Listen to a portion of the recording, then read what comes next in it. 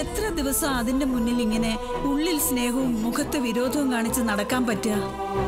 എങ്ങനെയെങ്കിലും ആ പാവത്തിന് ഇവിടുന്ന് പറഞ്ഞയച്ചേ പറ്റൂ.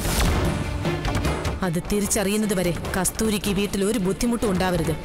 ആരുമില്ലാത്ത കുട്ടിയല്ലേ എന്ന് വിചാരിച്ച് നിന്നോട് അല്പം സ്നേഹവും സഹതാപവും കാണിച്ചതിന്റെ സ്വാതന്ത്ര്യത്തിന്റെ പേരിലാണോ ഇങ്ങോട്ട് കയറി വന്നത്? ആണോന്ന് നീലക്കുയിൽ ഇന്ന് രാത്രി ഏഴ് മുപ്പതിന് ഏഷ്യാനെറ്റിലും പിന്നെ എപ്പോഴും ഹോട്ട്സ്റ്റാറിലും.